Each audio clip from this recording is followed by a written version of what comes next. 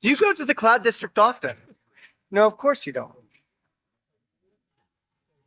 Need something?